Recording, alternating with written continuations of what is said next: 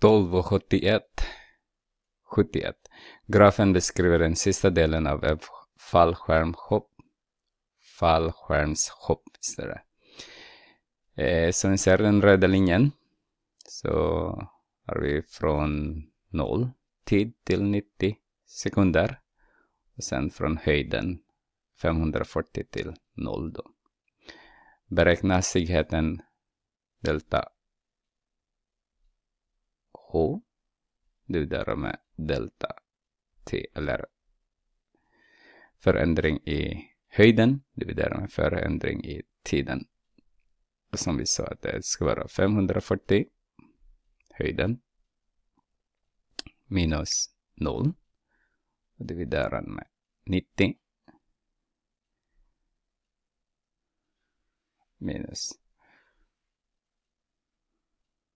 540 förlåt. Det ska vara 0. där med 0 90. Så har vi 54 dividerat med 9. Eller 540 dividerat med negativ 90. Och det är negativ 6 eh, meter per sekund då. Så B. Ställ upp en ekvation för linjen i diagrammen. Så har vi Y är lika med från början 540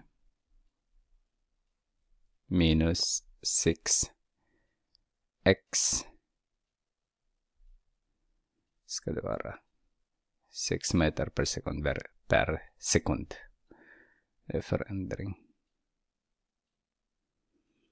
Eh, C skulle ange vilken är funktionens definitionsmängd. Definitionsmängd handlar om x-värde, mängd.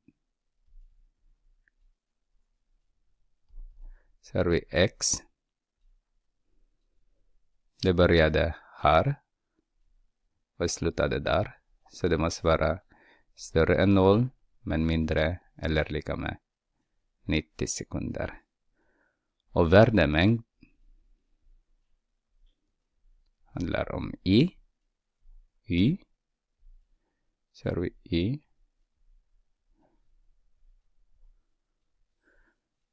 Det, det började där, det slutade där. Så det måste vara större än 0, men mindre än eller lika med 500 meter. 540 meter.